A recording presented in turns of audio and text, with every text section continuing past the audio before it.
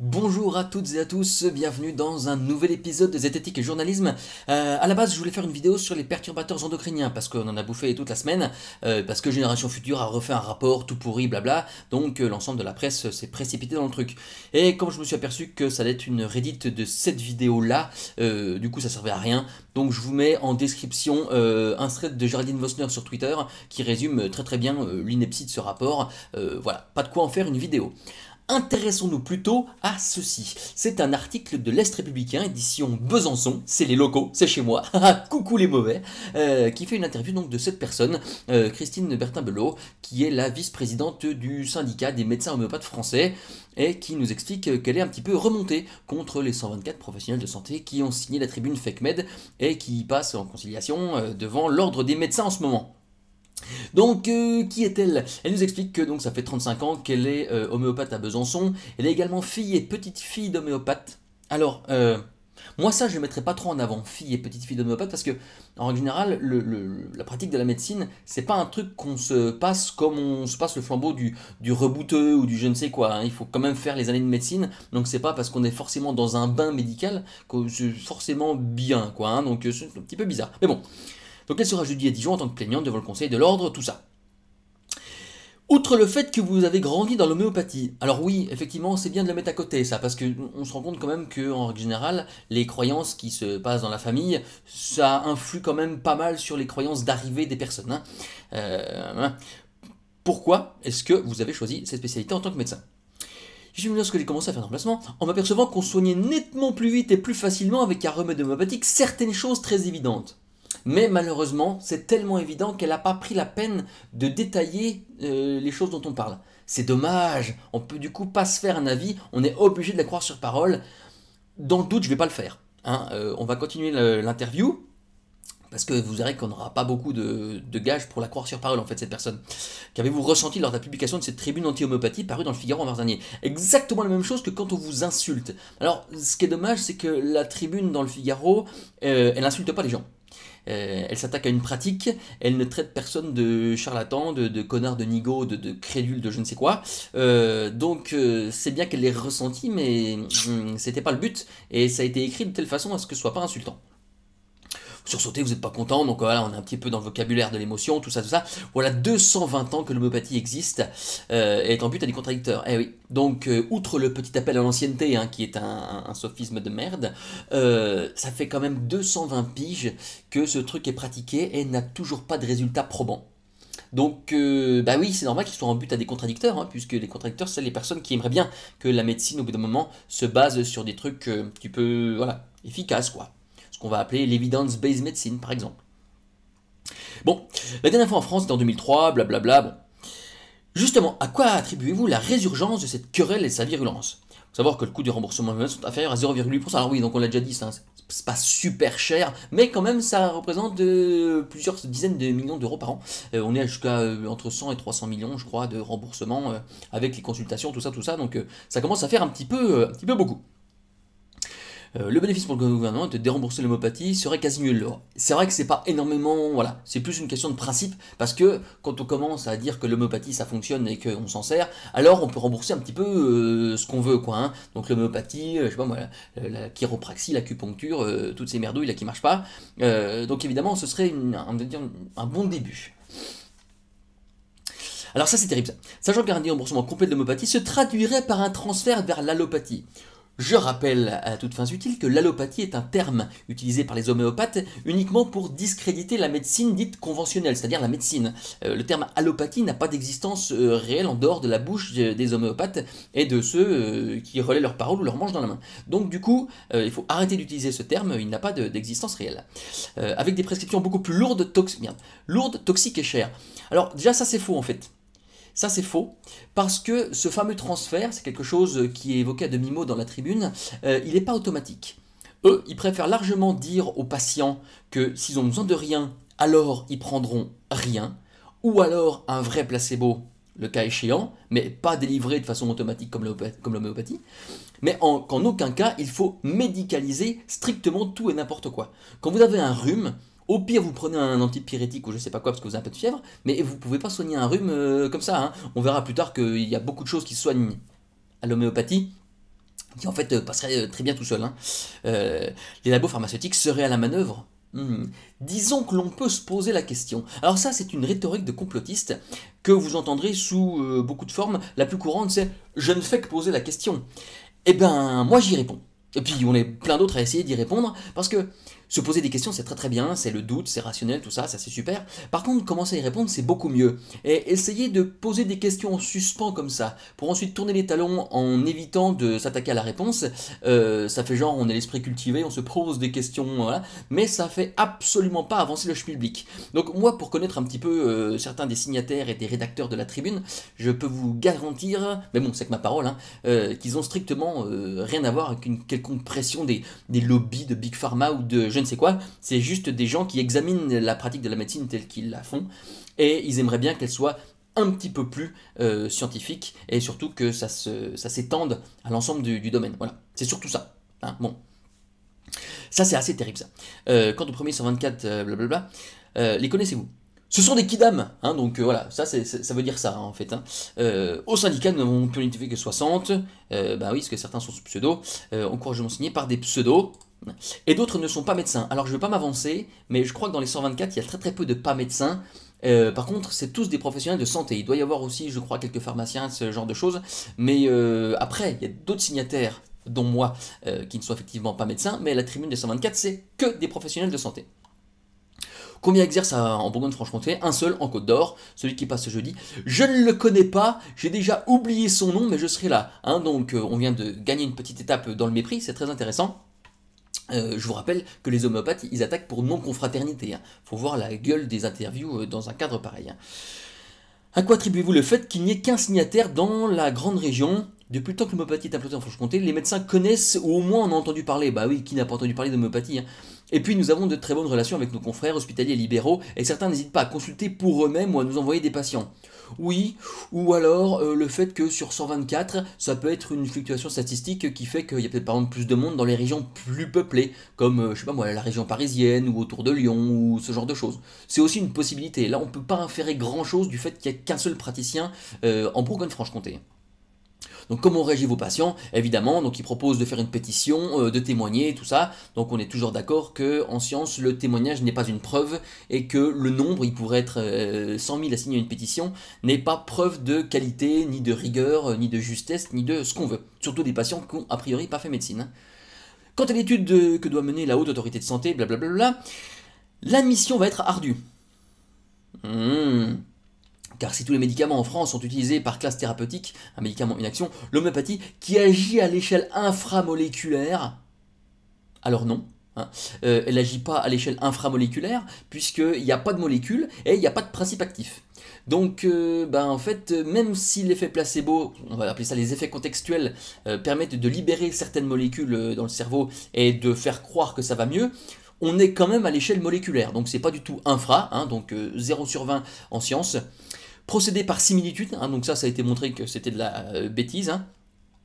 Si l'arnica peut être prescrit dans cardiologie, traumatologie, psychiatrie, euh, oui, comme effet contextuel, donc placebo, mais euh, l'arnica c'est toxique hein, rapidement pour l'être humain. Donc à moins qu'il n'y ait plus rien dans les, dans les plantes, enfin dans, les granules. Je, vous ai fait un petit calcul en bas que je vous mets en description, vous verrez à quel point il n'y a vraiment pas grand chose dans les granules. Nous espérons seulement que la commission nous entendra et nous écoutera. Moi, j'espère surtout qu'elle écoutera la science. Parce que c'est vrai que des gens qui sont biaisés parce qu'ils pratiquent l'homéopathie, c'est intéressant de les écouter, mais ça fait quand même pas des résultats euh, probants, probants, quoi. Hein. Son efficacité n'est plus à démontrer. Comme l'a révélé l'étude EPI 3, donc cette étude, euh, je vous mets un lien en description qui vous montre qu'elle est loin d'être irréprochable et que méthodologiquement c'est un petit peu faible. Les conclusions sont statistiquement assez peu significatives et elle ne dit pas que l'homéopathie est efficace l'homéopathie n'est plus à démontrer, donc si, si, hein, si, si, carrément. Donc euh, elle indique euh, qu'effectivement c'est lancé par les laboratoires, Boiron. Oui, alors, tout comme euh, il ne faut pas crier tout de suite au conflit d'intérêts quand c'est, je sais pas Monsanto qui finance des trucs sur le glyphosate, il ne faut pas forcément crier au conflit d'intérêts dès que c'est Boiron qui finance des publications. Il se trouve que là, dans les faits, EPI 3 e c'est quand même faible et que la méthodologie est super bancale. Donc, soit les personnes qui ont fait l'étude ils sont pas très bons, ou alors il y a un petit peu de conflit d'intérêt quand même dans les parages. On ne sait pas.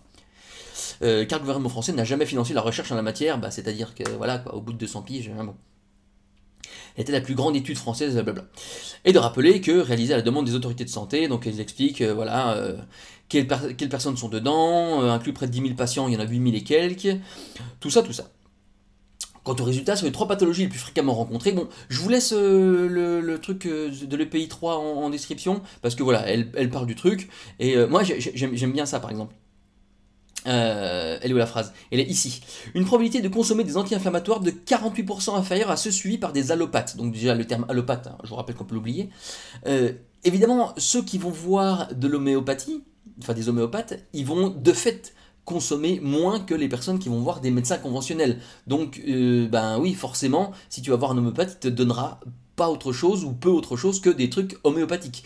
Euh, de la même façon, cette probabilité est de, 66, de 60% inférieure pour les patients souffrant de douleurs chroniques. Donc même chose, puisqu'ils vont voir des homéopathes, a priori ils recevront des traitements homéopathiques. Donc il y aura une diminution des traitements que eux ils appellent allopathiques, que moi j'appelle médicaux, normaux quoi. Donc c'est intéressant. Euh, représentativité, je ne pourrais pas donner le nombre de médecins homéopathes en Franche-Comté, on s'en fout. Euh, voilà, il n'y en a pas beaucoup chez nous. et ça c'est rigolo, parce que le vocabulaire il est une véritable chasse aux sorcières. On nous traite de charlatans, donc pas dans la tribune. Effectivement, j'ai vu passer par-ci par-là des commentaires qui disaient charlatan, tout ça, mais ce sont ni les médecins signataires de la tribune, ni les sceptiques que j'ai croisés, ni les personnes qui les soutiennent avec un statut un petit peu euh, important, quoi. On parle de fausse thérapie à l'efficacité illusoire. Ça, c'est dans le code de déontologie de votre pratique, euh, madame, qui dit qu'effectivement euh, les fausses thérapies à l'efficacité illusoire euh, sont interdites et toute pratique de charlatanerie est interdite. C'est dans le code, hein. on l'a pas inventé, et puis eux non plus. On réclame de ne plus autoriser à faire état de notre titre de médecin, ben, c'est-à-dire oui, puisque vous êtes en dehors du code de déontologie, hein, précisément. C'est une véritable chasse aux sorcières. Alors, le terme sorcière, il est rigolo parce que précisément, soigner avec de la magie, c'est un truc de sorcière. Mais bon, c'est quand même un petit peu connoté. À écouter nos détracteurs, il n'y a plus qu'à rallumer les bûchers.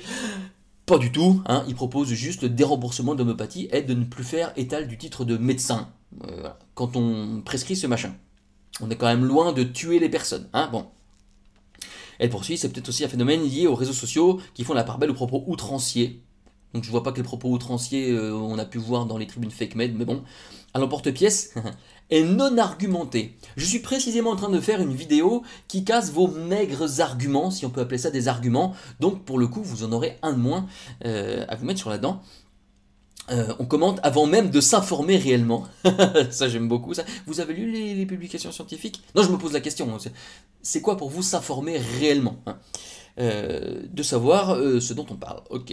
Ça montre simplement que les gens qui s'expriment de cette façon ne connaissent rien à l'homéopathie. Non, effectivement, à part que euh, la majorité des signataires, ce sont des professionnels de la santé, donc pharmaciens, médecins, urgentistes, etc., etc., donc qui ont plusieurs années de cursus, comme vous, dans la pratique médicale, qui ont la plupart du temps un diplôme, souvent un doctorat, tout ça, tout ça. Donc, je pense quand même qu'ils s'y connaissent un petit peu en médecine.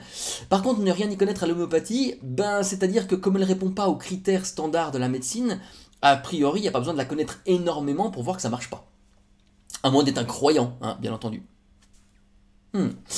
Euh, ce qui a été mis en évidence dans un article de Généraliste la semaine dernière, suite à la convocation de la première médecin par le conseil, blablabla, a déclaré De toute façon, rien ne me fera varier de ma position, je sais ce que je pense et je le penserai toujours. Alors, ça, effectivement, si c'est une médecin qui a déclaré ça, c'est pas super. Parce qu'elle aurait mieux fait de déclarer euh, Je sais ce que je pense, mais si jamais la science venait à prouver que l'homéopathie a une quelconque efficacité, alors ma position serait modifiée. Euh, ça aurait été mieux qu'elle dise ça. Bon, c'est vrai qu'après, ça fait de, comme 200 piges qu'on court après l'efficacité de l'homéopathie, quoi. Hein. Euh, comme démarche scientifique, reconnaissez qu'il y a mieux, et donc ça fait 220 ans que Samuel Hahnemann a traficoté dans ses labos et qu'il a quand même pas fait grand chose. Hein. Donc dans un rapport avait préconisé l'enseignement obligatoire de l'homéopathie, tout ça, tout ça, comme l'acupuncture en première année de médecine, donc hein, acupuncture. En règle générale, quand tu as une croyance dans un machin, il y a un ensemble de croyances qui viennent avec. Hein. c'est assez terrible euh, cognitivement parlant. Euh, se souvient la médecin homéopathe, c'est super, donc hein, des souvenirs, des expériences personnelles, tout ça, tout ça, pas beaucoup d'intérêt. Cela n'a jamais été appliqué, mais c'est très dommage, donc là je voulais dire c'est très tant mieux, mais sa langue a dû fourcher, euh, parce qu'on aboutit à des tribunes diffamatoires. Alors c'est pas diffamatoire, C'est pas diffamatoire parce que précisément ça s'attaque à une pratique et non pas à des personnes.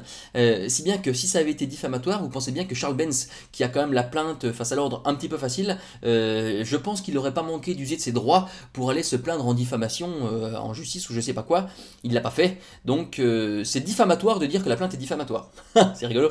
parce que c'est pas du tout le cas c'est pas du tout le cas. C'est très grave car l'université de Lille, qui faisait partie des facs qui délivrent un diplôme d'homéopathie, vient de décider de suspendre cet enseignement. Et donc, bravo à la faculté de Lille et à son doyen euh, qui a euh, sorti les bollocks, comme on dit, et euh, qui a pu faire en sorte que le DU, non, c'est pas un DU, c'est un diplôme, je sais plus, soit suspendu le temps que la HAS donne son feu vert, qui j'espère ne sera pas vert. Hein, il faut le dire tout net. Euh, le doyen n'entend même pas, ça c'est rigolo, la décision, maintenant du coup il prend un truc qui est en amont. Euh, on était où Arrêter de délivrer, voilà. Euh, alors ça j'aime bien. Non seulement tout ça est extrêmement violent, mais comment évaluer l'homéopathie si on commence par l'éliminer partout? Oh, Vous savez, faire des tests en double aveugle, c'est-à-dire pas ce qui était fait dans le pays 3, c'est très facile. Hein. il suffit de prendre des tubes, il suffit de répartir les patients en plusieurs groupes, les médecins savent pas ce qu'ils donnent, les patients savent pas ce qu'ils prennent, et on regarde les résultats. Malheureusement, ça quand c'est fait, on voit strictement zéro différence entre un placebo et l'homéopathie. Donc, euh, faut pas dire que ça n'a pas été testé parce que c'est pas vrai.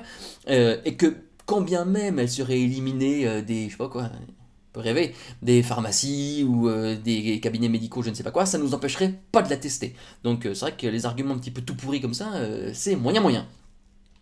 Quand on veut donner un avis en ce de la science, on commence par avoir une démarche scientifique. C'est précisément ce qui est fait donc euh, depuis euh, quelques décennies, hein, quasiment 200 ans. La science de l'époque, c'était pas tout à fait la même que maintenant, mais maintenant la méthode scientifique, elle est quand même plutôt bien aboutie et la démarche scientifique est claire et nette sur euh, le processus homéopathique. C'est que dalle au-delà du placebo. Hein. Il faut savoir qu'il y a 220 ans, un médecin allemand, donc elle explique qu'un médecin allemand euh, a été euh, convaincu par Samuel Hahnemann et que du coup il s'est rangé de son côté. Bon, bah euh, voilà, hein, c'est pas parce qu'ils sont 3 ou 4 à être derrière que forcément ça rend le truc pertinent. La preuve, il y a 5000 médecins homéopathes en France, ça ne rend pas la pratique efficace pour autant. Donc bah, merci les républicains de nous faire un machin comme ça, évidemment, donc c'est dégueulasse. Hein. Je vous rappelle que chez nous, les républicains, son petit surnom c'est l'Est répugnant. Je vous laisse trouver une relation de cause à effet. Euh, c'est pas très bon, c'est pas très bon du tout. J'espère, cher public, que, tu t'étais pas fait avoir. Euh, bon, les républicains, on va pas leur demander d'être euh, un petit peu corrects dans leurs articles, hein. ce serait trop beau, ça fait des années qu'ils pratiquent comme ça. C'est bien dommage. toi, public, tu gardes bien l'esprit critique. Et puis, bah évidemment, je te dis à bientôt pour une nouvelle vidéo de debunking zététique. Salut